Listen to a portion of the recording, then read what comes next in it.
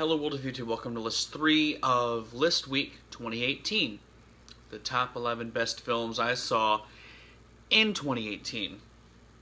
Now, I had originally planned to make another top 6 this year, because I was like, you know, I had a lot of fun doing 6. I didn't see that many movies. Maybe that'll be just a nice little thing to end the year off on. But then I kept watching movies, and more movies, and more movies. I watched enough that I could have easily made a top 10 11, you know, so that's, that's what I'm here to do.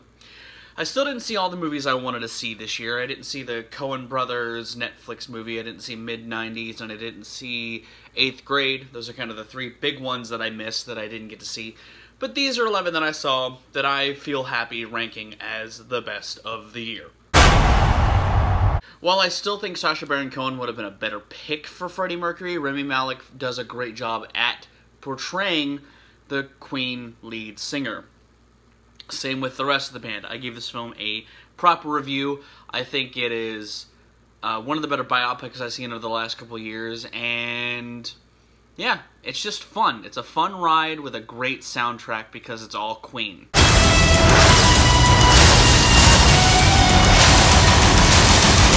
Ant-Man was kind of a sleeper favorite of mine amongst the Marvel films, and Ant-Man and the Wasp does for it what Winter Soldier did for Captain America.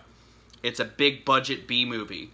There's ants everywhere. There's so much fun, and I love that they get more absurd with its plot and its plot devices. On top of going all out with the wackiness of the resizing things and the suit powers get expanded to just everything can be big and small. And it's it's charming. I'm a big fan of that, and I think Paul Rudd is as great here as he was in the first movie. So much fun, uh, a great ride, and a great break from the seriousness that was Infinity War. A film so successful, they're already making ripoffs of it. A Quiet Place is a sleek-looking, charming horror film that has a great vision, a great set of characters, and a tight enough script to be a compelling watch both in and out of the cinema. And it provided one of the more unique cinema experiences I had all year because the entire audience was hell-bent on being as silent as the characters in the movie, which I think is a testament to how encapsulating the world within the film was. As funny as the first one, uh, the bits are better, the characters are more fleshed out. Does a great job at subverting audience expectations in ways that I feel like some people hated, but I actually really, really enjoyed. And Deadpool is hilarious as always. I like the addition of Cable. The ending of this movie is on par with some of the other great ends of films this year. And yeah, if you like Deadpool 1 like I did, you'll like Deadpool 2. It's definitely at least as good as Deadpool 1, if not better.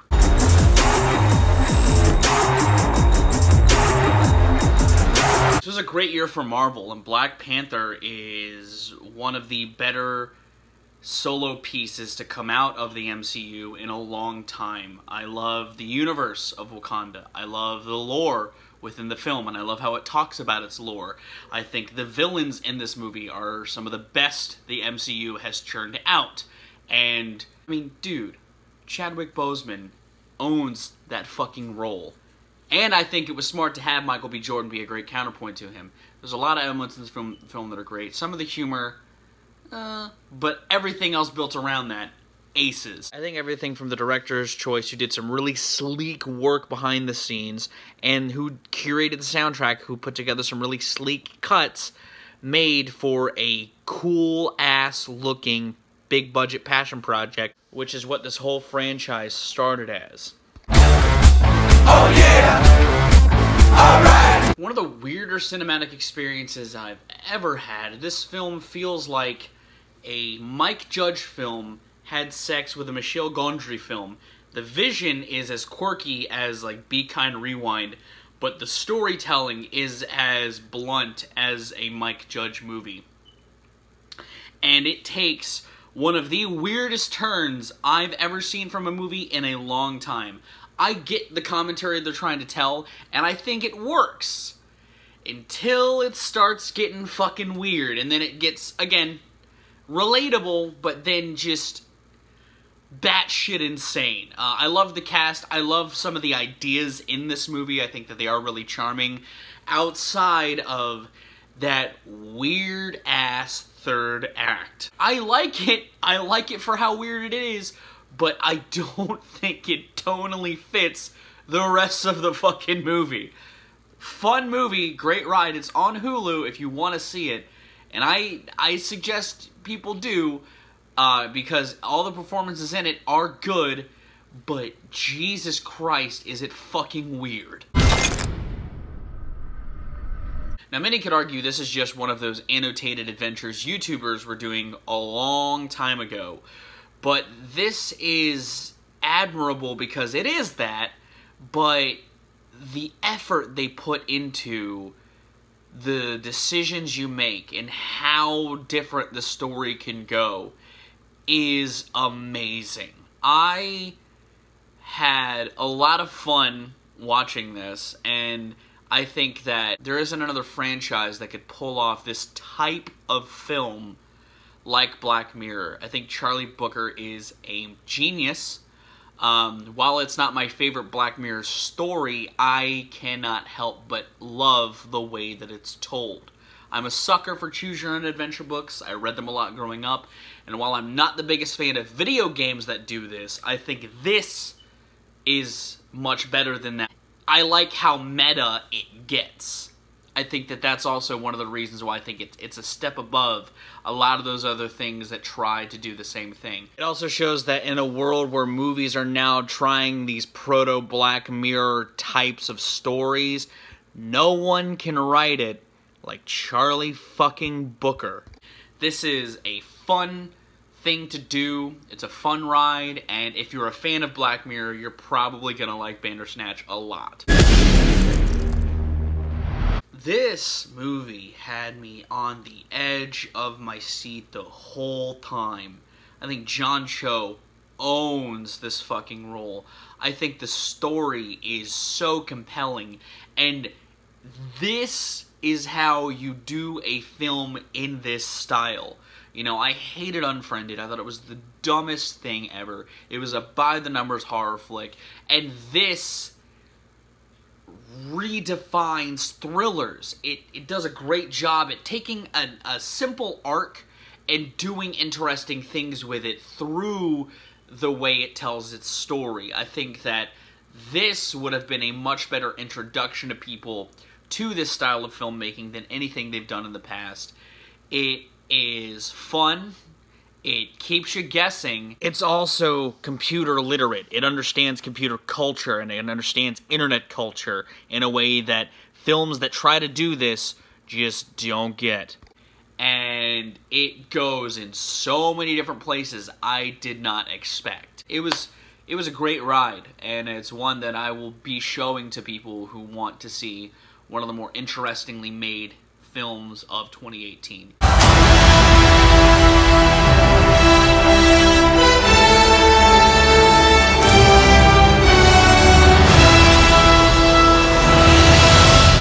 I mean, it's the culmination of a 10 year ride I've been on since basically the beginning. I loved this. I recently started rewatching it because it's on Netflix, and I still was glued to the screen. I couldn't look away. There's there's so much excitement that just hits me here as a huge fan of comics. I love these characters. I love what they've been doing with these characters in this universe, and I love that it built to this, and it wasn't a disappointment. Josh Brolin, great year for him. He was great in Deadpool 2. He's fantastic in this. Cannot wait to see Endgame. I think it sets up Endgame really fucking well. And man, it hit me. It hit me here in a lot of ways that part of me was expecting, but I didn't expect to be hit that hard with it. it there's a lot of fan service, and I'm not gonna lie, I don't mind that. Uh, a lot of the movie is kind of fan servicey in a lot of ways, but I think they do it well, and the Russo brothers just knocked it out of the park. as I said on my EP catch up, I recently watched this movie and it was amazing. You can tell a lot of heart went into the direction, went into the characters because Rafael and David wrote the movie. And you can tell they put a lot of heart into the story they were trying to tell. There's a lot of flair and panache in the dialogue. There's a love of hip hop in the dialogue that you don't normally see in movies starring rapper. This feels more real. This feels more like a, a slice of life through a stylistic lens. A lot of the a lot of the camera work and lighting is super stylish, and a lot of the a lot of the delivery of some of these more hip hop centric parts are very stylish, but they feel believable in how some of the done. best tense and comedic moments in a film I had seen all year, and it treads both lines beautifully. And there's actually a moment where both of those moments come to a head together and it's so impactful because of it because it ties into the themes the film is trying to lay out as far as the optical illusion it's based on and all that sort of stuff and it just presents the problems. It try it takes a side but it tries to leave it open for the viewer. And i liked that about it. I liked i liked this movie a lot more than i thought i would. I knew i was to like it but I was just so invested in this from the minute these characters were interacting. Because the trailers show their friendship, but they don't show how well fleshed out these characters are, and that's that's one of the things I really like. I love the characters in this movie, and I love the way that they told the story. I think that if there's any movie that you need to see that came out this year, uh, aside from the number one pick, is Blindspotting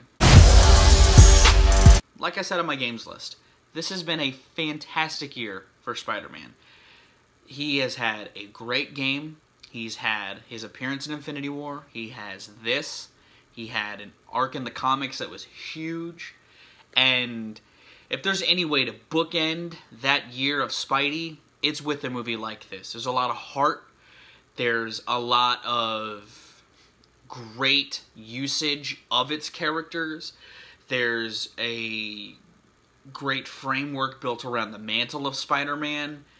The villains are compelling. The animation is gorgeous. And this is just a movie that, again, like I said in my review, gave me a gambit of emotions. The twists and turns it took me on were some of the most exciting I had seen. And maybe it's because I'm just a die-hard Spider-Man fan, but this is what I wanted to see in a Spider-Man movie if it didn't have anything to do with his origin. I liked Homecoming. I thought it was a great continuation of Peter Parker and a, and a great reimagining of uh, him on the big screen. But, man, I love every aspect of this movie. Uh, you know, and that's, that's, it's, it's hard to pull off this type of superhero movie nowadays, I think. But I think Sony knocked it out of the park. I think that the the comedy is good, the the tension is great, the emotional, impactful scenes are there, and even some of them they don't dwell on them. They just let you think about them. Such a well-made movie, and it's the most fun I had at the movies in 2018. That was my list of my top 11 films 2018. Hopefully you enjoyed this video. Uh, the next list coming out tomorrow is my top 20 favorite songs 2018. Hopefully you're looking forward to that. But I'm going to go. I have been ViralRak. You guys have good days, lots of situations. And I'll see you tomorrow and another day.